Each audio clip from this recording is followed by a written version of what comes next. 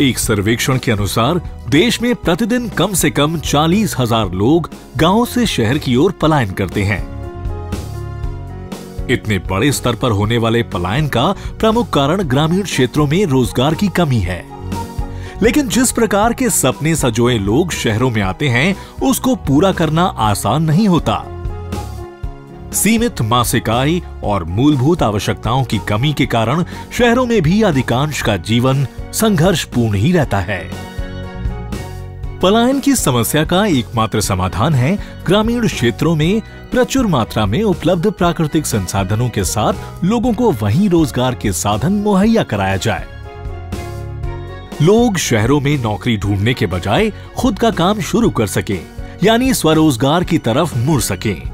जहाँ नौकरी में, वेतन के रूप में एक सीमित आय प्राप्त होती है, वहीं स्वरोजगार में कमाई, हुनर और मेहनत पर निर्भर करती है। स्वरोजगार के माध्यम से उपलब्ध संसाधनों का बेहतर उपयोग करके हम अपने साथ साथ कई अन्य लोगों को भी रोज़गार दे सकते हैं और बेहतर भारत के निर्माण में अपना योगदान दे सकते हैं। इस देश को प्रकृति ने दिल खोलकर अपने संसाधनों से संपन्न किया है। ऐसा ही एक महत्वपूर्ण संसाधन है बाँस।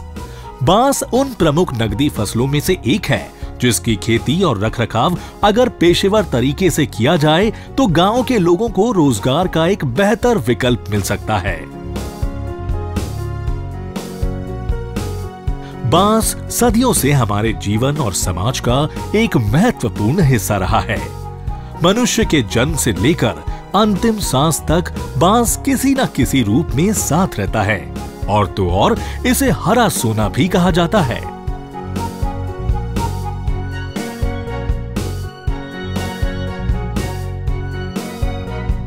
पारंपरिक तरीके से बाँस से टोकरी, चटाई पंखा और घर के अन्य छोटी मोटी चीज़ों को बनाने का काम हमेशा से होता आया है।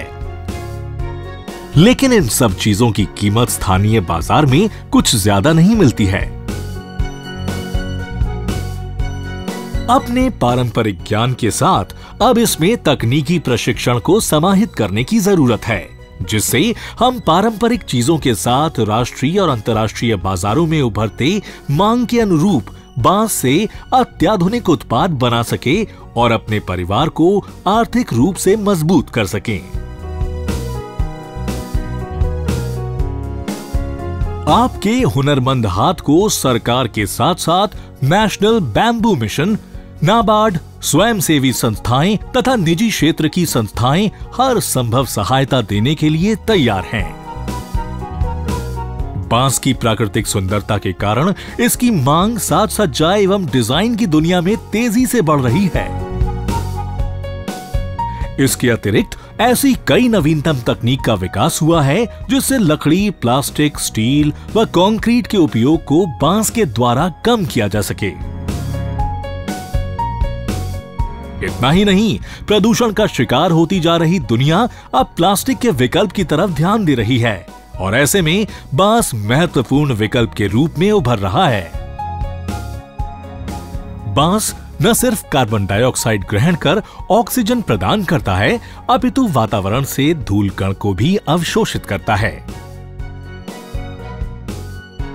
विश्व बैंक रिपोर्ट के अनुसार भारत में प्रति व्यक्ति कार्बन डाइऑक्साइड का उत्सर्जन प्रति वर्ष 2000 किलोग्राम से अधिक है। एक बाँस प्रतिवर्ष लगभग 400 किलोग्राम कार्बन डाइऑक्साइड ग्रहण कर उसे ऑक्सीजन में बदल देता है। ऐसे में अगर हम सिर्फ़ पाँच बाँस के पौधे प्रति वर्ष लगाएँ तो देश को कार्बन न्यूट्रल बनाया जा सकता है।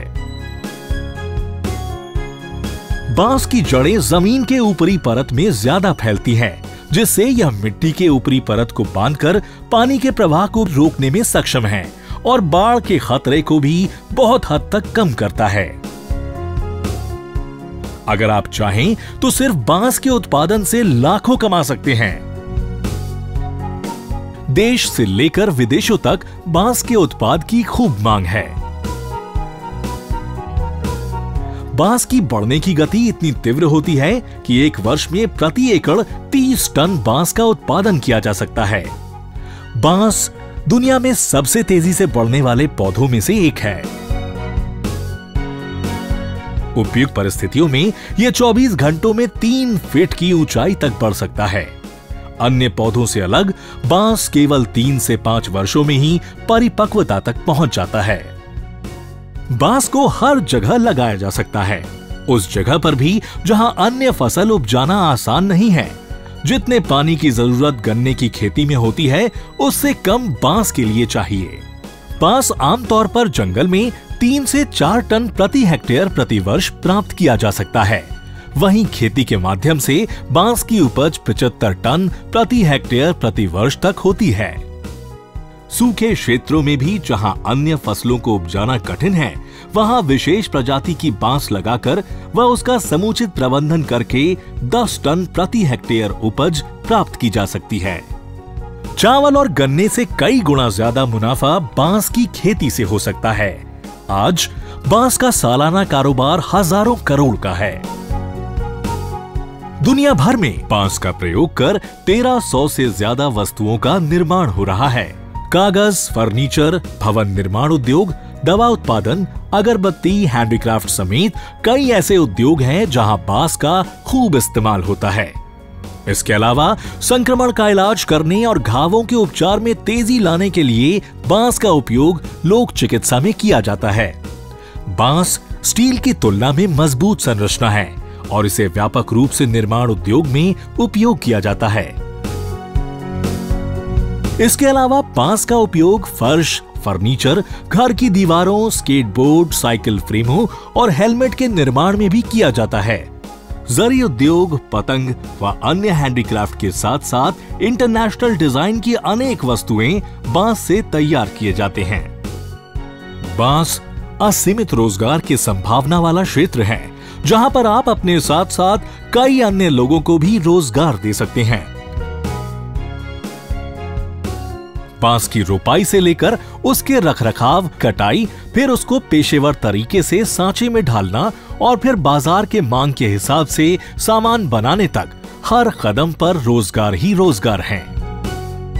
बाँस से आधुनिक हैंडीक्राफ्ट के सामान, फर्श, फर्नीचर, घर की दीवारों, घरों के साज सज्जा के सामान आदि बनाने से आपका हुनर दुनिया के कोने कोने में फैल सकता है। जहाँ स्थानीय बाजारों में बाँस की एक टोकरी की कीमत बहुत कम हो सकती है।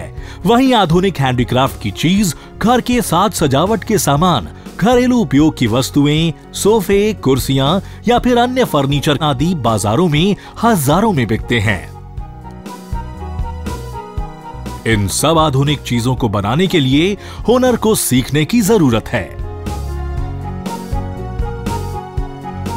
इसके लिए कई सरकारी संस्थान प्रशिक्षण दे रही है। बाँस के उद्योग में पारंपरिक ज्ञान के साथ साथ तकनीकी ज्ञान को बढ़ावा देने के रास्ते पर सरकार अग्रसर है, ताकि तकनीकी प्रशिक्षण देकर हर उद्यमी को हुनरमंद बनाया जा सके। देश के 18 राज्यों में बाँस की पैदावार होती है। यूरोपियन यूनियन के माध्यम से इनमें से 9 राज्यों में बाँस से संबंधित योजनाएँ चलाई जा रही हैं। बाँस की खेती से लेकर आधुनिक हैंडीक्राफ्ट के उत्पाद बनाकर बाज़ार में बेचने तक हर जगह पर रोज़गार के मौके हैं आज के समय में महिलाएँ भी बाँस के रोज़गार से जुड़कर स्वावलंबी हो रही हैं।